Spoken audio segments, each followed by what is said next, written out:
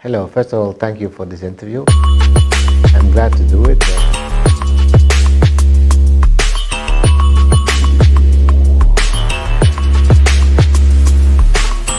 And I, I think we, we should stop by thinking that the crisis is over. eh? We are now in what I call a perma crisis, meaning permanently in crisis. And you see, we have different natures of crisis. We have the, the virus crisis, like Corona, SARS, Ebola. We have the financial problems, like the banking crisis, the financial crisis. And then we have the conflicts, like the Red Sea, the Gaza, the, the Ukraine. Economy is not such a thing as a linear process. It's rather a roller coaster. And the year 2023 was not only post-COVID recovery, but at the same time, it was a year of inflation. Inflation in Europe driven by energy prices linked to the crisis. Inflation in the United States driven by the hot labor market. And so in most of the parts of the world, we had very low growth. So we had in most of the world stagnation, inflation, that's in fact what we call stagflation. And I think for 2024, the most important is to become more resilient. This means that we'll become much more robust for the next crisis. So let's be, let's be prepared for that.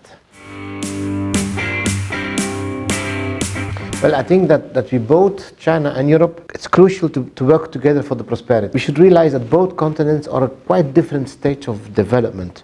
The European Union should not vegetate on its industrial past, eh? and we cannot only become a pure importer of goods and services. This would not be a sustainable model for Europe. So Europe needs industry. Well, uh, allow me to, to quote um, a British economist, David Ricardo, who says that international trade has to be based on comparative and not absolute. I think today we are most looking to absolute advantages. If you look to comparative, there are some things that Europe is good uh, towards China, despite the fact that China will be best in the boat. But my message would be, let's look at comparative advantages and not at absolute advantages to look for international trade. And I would like to, to, to quote a French philosopher. I'm a philosopher as well, so nobody is perfect. And I would like to quote René Girard. René Girard says, the other, he's at the same time the model and at the same time he's the rival. And I think that's exactly what happened. And if you then look to the model part of it, we see that the Chinese model is organized in a better vision. eh? For instance, if our companies want to obtain a permit, we have to go to enormous consultation procedures, taking time. And so if you ask in the surveys to European companies, what is your problem? The biggest problem of European companies is the lack of getting a permit in time. If you need two to three years before you can do the investment, you're losing time. So we can learn one from another. And so at the same time, China is for us a model and a rival. Well, I think the, biggest problem of Europe, to start there, is disindustrialization. eh? In most of the countries, the part of the industry and the GDP is less than 20%. Take a country like France, 14%, Belgium, 16%.